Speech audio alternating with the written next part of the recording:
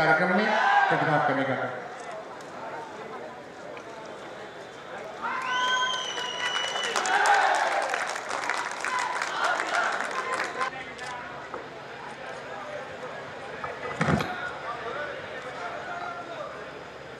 आज के समारोह में उपस्थित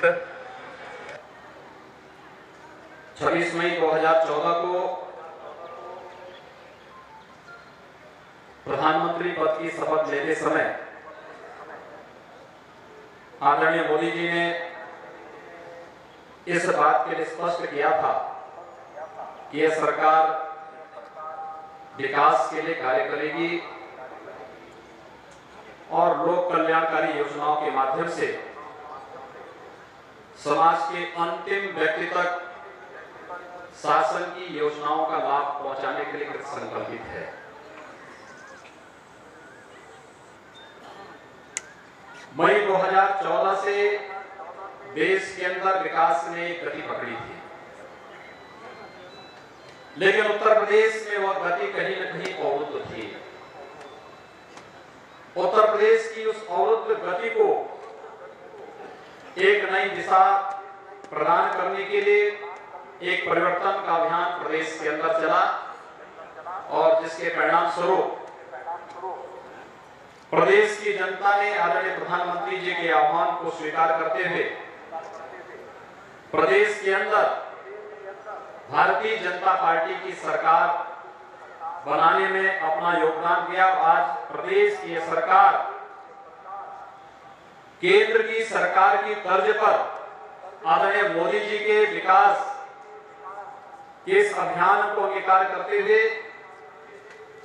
उत्तर प्रदेश को देश के सर्वोत्तम प्रदेश के रूप में स्थापित करने के लिए संकल्पित है और जिससे विकास का अभियान प्रारंभ हो चुका है। सज्जनों, लंबे समय से प्रदेश विकास से दूर था। प्रदेश में कानून व्यवस्था की ध्वस्त स्थिति थी। प्रदेश में आम जन की सुनवाई नहीं हो पा रही थी। नौजवान पलायन करने के लिए मजबूर हुआ था। हम लोगों ने सत्ता में आते ही से चुनौती के रूप में स्वीकार किया।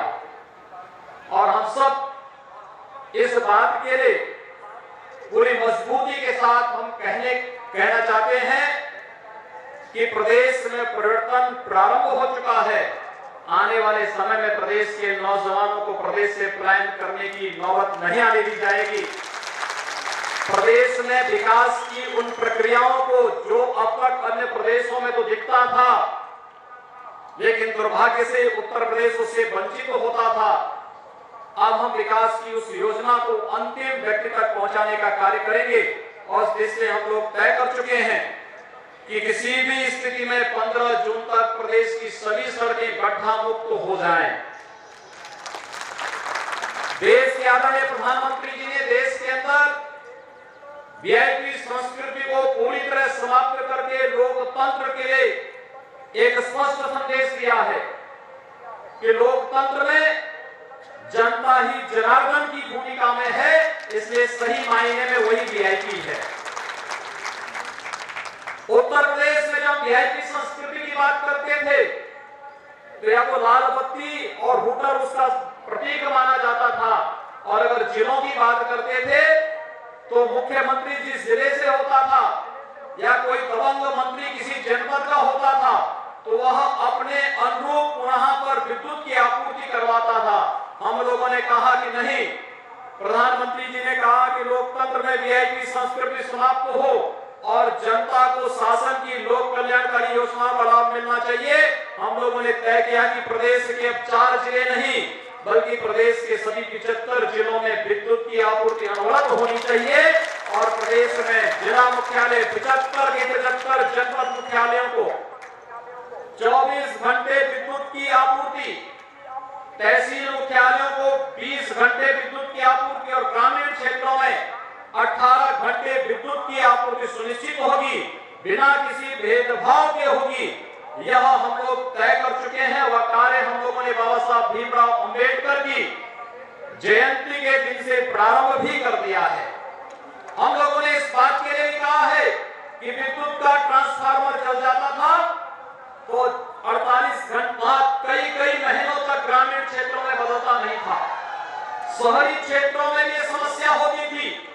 हम लोगों ने तय किया है कि ग्रामीण क्षेत्र में 48 घंटे के अंदर और शहरी क्षेत्रों में 24 घंटे के अंदर विद्युत की विद्युत ट्रांसफार्मर चलने पर उन्हें बदलने की तत्काल कार्रवाई हो लेकिन मेरा आप सबसे भी आग्रह होगा अगर हम 24 घंटे बिजली चाहते हैं तो जहाँ कहीं भी विद्युत की चोरी हो उसको रोकने के लिए जनता को जागरूक करें कि विद्युत की चोरी न हो बल्कि लोग विद्युत का कनेक्शन ले सरकार उसे विद्युत का कनेक्शन देगी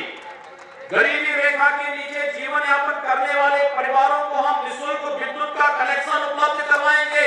लेकिन मेरा आग्रह होगा कि विद्युत का बिल कम से कम जितना होता उतना विद्युत का बिल वो ज़रूर भरें, जिससे 24 घंटे विद्युत की आपूर्ति ग्रामीण और शहरी क्षेत्रों में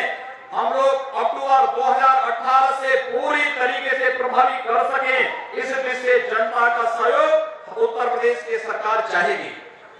सज्जनों किसान तबाह होता था। उसका कोई प्रोत्साहन नहीं था। अनुसूचित जाति के छात्रों को कई वर्षों तक आधे छात्रों को ही स्कॉलरशिप मिल पाती थी, आधे छात्र उससे वंचित हो जाते थे। पिछड़ी जाति के छात्रों को भी स्कॉलरशिप से वंचित होना पड़ता था। बालिकाएँ सुरक्षित नहीं थी। हम लोगों ने कहा कि अब ये नहीं चलेगा। प्रदेश में चाहे वो अनुसूचित जाति का छात्र हो चाहे वो पिछड़ी जाति का छात्र हो और चाहे वो मेधावी छात्र किसी भी जाति का हो चाहे वो बालिका हो इन सबको जो भी उनका अधिकार है वो अधिकार मिलना ही चाहिए और प्रदेश की सरकार वो अधिकार दिलाने के लिए कृत संकल्पित है आज उसी क्रम में विकास की योजनाओं को आगे बढ़ाते हुए हम लोगों ने एक अभियान प्रारंभ किया है मैं भी पिछले दिनों बुंदेलखंड क्षेत्र में गया था बुंदेलखंड क्षेत्र में जल की आपूर्ति उस रूप में नहीं, जिस रूप में पूर्वी उत्तर प्रदेश में है। पूर्वी उत्तर प्रदेश इस मामले में सौभाग्यशाली है यहाँ पर जल संसाधन प्रचुर मात्रा में है। लेकिन हम सबको एक बात का ध्यान रखना होगा ये प्रचुर जल संसाधन जहाँ हमें प्रकृति की देन है, यही प्रचुर जल संसाधन को हम प्रदूषण से मुक्त नहीं रख पाए हैं। हम लोगों ने गाँव में तालाब है, लेकिन तालाब में गाँव की पूरी गंदगी उड़ेल दी है। हम लोगों के आसपास नदी है छोटे छोटे नाले हैं, जो किसी न किसी बड़ी नदी में मिलते हैं। फिर वही बड़ी नदी आगे गंगा सी में मिलती है। हर नदी और नालों को प्रदूषित करके रख दिया है। इस प्रदूषण से मुक्त रखने के लिए, देश की नदी संस्कृति को पुनर्जीवित करने के लिए, देश में सनातन परंपरा की प्रतीक भारतीयता की प्रतीक गंगा माँ के संरक्षण के लिए और उसकी अग्रता और उसकी निर्मलता को बनाए रखने के लिए आदरणीय प्रधानमंत्री जी ने नमामि गंगे परियोजना का शुभारंभ किया था नमामि गंगे परियोजना की सफलता इस बात पर निर्भर करेगी कि हम लोग अपने आसपास आने वाले नदी और नालों को कितना सुरक्षित रख पा रहे हैं कितना निर्मल रख पा रहे हैं कितना अविरल रख पा रहे हैं इस पर निर्भर करेगा और उत्तर प्रदेश की इसमें बड़ी भूमिका होगी है गंगा जी उत्तर प्रदेश के अंदर लगभग एक हज़ार किलोमीटर उत्तर प्रदेश के अंदर बहती है। हमारे पंद्रह जनपद और नौ सौ पिचासी गाँव गंगा जी के तट पर बसे हुए हैं। इसके साथ साथ गंगा जी की तमाम सहायक नदियाँ हैं, राप्ती है, गंडक है, सरयू जी है, गोमती है, यमुना जी है।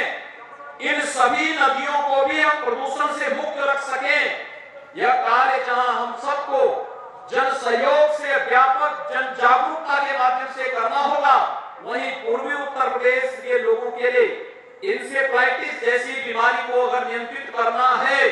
उसके लिए शुद्ध पेयजल की आपूर्ति के साथ साथ साफ़ सफ़ाई और स्वच्छता के इस कार्यक्रम के साथ प्रत्येक जन की सहभागिता हो, इसको एक आंदोलन के रूप में भी अंगीकार करना होगा। इंसेफ्लाइटिस उन्नीस सौ से प्रतिवर्ष हज़ारों की संख्या में मासूम बच्चों को काल के गाल में भेज देता है का मासूम बच्चा काल के गाल में समा जाता है प्रतिवर्ष। और अगर हमें इंसेफ्लाइटिस पर नियंत्रण करना है, अगर हमें डेंगू को नियंत्रित करना है, अगर हमें कालाजार और बीमारियों को नियंत्रित करना है तो हमें प्रधानमंत्री जी के स्वच्छ भारत अभियान के साथ जुड़ना होगा। स्वच्छ भारत अभियान इन विषाणु जनित और जल जनित जितनी भी बीमारियाँ हैं, इन सब का समाधान का मार्ग स्वतः प्रशस्त करता है और इस इससे इस व्यापक अभियान के साथ जुड़ने के लिए मैं पूर्वी उत्तर प्रदेश के प्रत्येक नौजवान का आह्वान करूँगा कि उस अभियान के साथ जुड़े और अपने गाँव को अपने घर को अपने मोहल्ले को अपने कस्बे को स्वच्छ रखने में अपना योगदान दें हम हर कार्य के लिए सरकार पर निर्भर रहने की जो आदत बन चुकी है उससे अपने को थोड़ा दूर करें कुछ कार्य ऐसे हो जो जन सहयोग से भी प्रारंभ हो सके जिनमें जनता की सहभागिता सुनिश्चित हो सके जिसके माध्यम से हम आम जनमानस को जोड़ करके आम जनमानस को उसके प्रति आग्रही बना सके और स्वच्छता का अभियान इसी क्रम में एक महत्वपूर्ण अभियान है मेरा आप सबसे आह्वान होगा कि स्वच्छ भारत अभियान के साथ हम सब जुड़े प्रदेश में कानून का राज स्थापित हो यह हम सबके सामने एक चुनौती थी लोग बराबर इस बारे में कहते थे, कैसे होगा? उत्तर प्रदेश में कोई पूंजी निवेश करने को तैयार नहीं था। उत्तर प्रदेश का उद्योग उत्तर प्रदेश से भाग रहा था। उत्तर प्रदेश में बाहर का कोई व्यक्ति नहीं आता था। एक महीने के अंदर हम लोगों ने एक स्थिति पैदा की है प्रदेश के अंदर। अब बाहर का उद्योगपति प्रदेश के अंदर पूंजी निवेश करने में रुचि लेने लग गया है और हम लोगों ने प्रयास किया है कि शीघ्र ही प्रदेश के अंदर हम एक माहौल बनाए प्रदेश का औद्योगिकरण हो प्रदेश में नए उद्योग लगे कल कारखाने स्थापित हो हमारे नौजवानों को रोज़गार प्राप्त हो नौकरी उसको अपने घर में प्राप्त हो इस दृष्टि माहौल बनाने के लिए प्रदेश की सरकार तय कर चुकी है कि अपराधी कोई भी हो कितना भी बड़ा क्यों न हो अगर वह कहीं भी कानून के साथ खिलवाड़ करता है तो कानून सख्ती के साथ ऐसे तत्वों पर टूट पड़ेगा और फिर ऐसे तत्वों के साथ सख्ती के साथ निपटने का कार्य ही करेगा। हम लोग कानून के मुद्दे पर किसी को खिलवाड़ करने की छूट कतई उत्तर प्रदेश के अंदर नहीं देंगे। हम उत्तर प्रदेश को अराजक प्रदेश का पर्याय नहीं बनने देंगे। उत्तर प्रदेश को देश के सर्वोत्तम प्रदेश की श्रेणी में स्थापित करना है। तो हमें प्रदेश के अंदर कानून का राज स्थापित करना ही होगा और इसके लिए आम जनमानस को एक बार पुनः सरकार के साथ आना होगा। बहुत सारी ऐसी योजनाएँ की जिन योजनाओं पर वर्षों से गोरखपुर और पूर्वी उत्तर प्रदेश के लोग लगे थे पूर्वी उत्तर प्रदेश की पहचान हमारी सबसे बड़ी पहचान थी कि प्रदेश इस क्षेत्र में यहाँ के अर्थव्यवस्था की रीढ़ यहाँ का चीनी उद्योग था एक एक करके बंद होता गया आज स्थिति यह है कि इकतीस चीनी मिलों में से मात्र 11 चीनी मिलें चल पा रही हैं उनकी स्थिति अत्यंत जर्जर है प्रदेश सरकार ने तय किया है कि हम प्रदेश के इस चीनी उद्योग का जीर्णोद्धार करेंगे पहली बार हो रहा है कि प्रदेश सरकार के आग्रह पर प्रदेश सरकार ने जब इस बात को कहा है कि हम प्रदेश में उद्योग लगाने का माहौल देंगे, उद्योगपतियों को सुरक्षा देंगे, लेकिन अगर किसानों के साथ कहीं कोई भेदभाव होता है, उनके हितों के साथ कहीं कोई खिलवाड़ होता है तो सरकार इसको स्वीकार नहीं करेगी। प्रदेश सरकार के आग्रह को प्रदेश के चीनी उद्योग ने माना और मुझे बताते हुए प्रसन्नता हो रही है हमने अब तक गन्ना किसानों का पचपन सौ करोड़ रुपए लगभग पचपन सौ करोड़ रुपए का गन्ना मूल्य का भुगतान प्रदेश के किसानों का हो चुका है 120 दिन के अंदर की जो समय सीमा है इसमें हमारा प्रयास है कि चालू वर्ष की तो सभी गन्ना मूल्य का भुगतान हो ही पिछला जो बकाया है कई कई वर्षों का जो गन्ना मूल्य का बकाया रह चुका है उसका भुगतान भी गन्ना किसानों को हो सके बहुत सारे ऐसी चीज़ें हैं पूर्वी उत्तर प्रदेश में प्रतिभा है लेकिन उस प्रतिभा को एक मंच नहीं मिल पाता था। पूर्वी उत्तर प्रदेश में यहाँ के नौजवानों को एक नई दिशा देने की जो कार्रवाई होनी चाहिए थी, वह कहीं ना कहीं उसका अभाव था। और आज इसी श्रृंखला को आगे बढ़ाते हुए प्रदेश की सरकार ने तय किया है कि जो लड़के आईएएस पीसीएस की तैयारी करना चाहते हैं, उनके लिए हम गोरखपुर में एक कोचिंग सेंटर की स्थापना करेंगे और उसके लिए आज उसका शिलान्यास का कार्यक्रम यहाँ पर संपन्न हो रहा है। इसके अलावा हम लोगों ने यहाँ पर अनुसूचित जाति, जनजाति के बच्चों के छात्रावास की व्यवस्था हम लोग यहाँ देने जा रहे हैं। हम लोगों ने राष्ट्रीय विद्यालयों की स्थापना के क्रम में भी अन्य कार्य प्रारंभ करने यहाँ पर शुरू किए। उस एक नए विद्यालय की स्थापना सहजना क्षेत्र में हम लोग स्थापित करेंगे। और साथ साथ गोरखपुर में आप एयरपोर्ट की ओर जाते हैं। घंटा अगर में क्रॉसिंग बंद होता है अगर आपको फ़्लाइट पकड़नी होती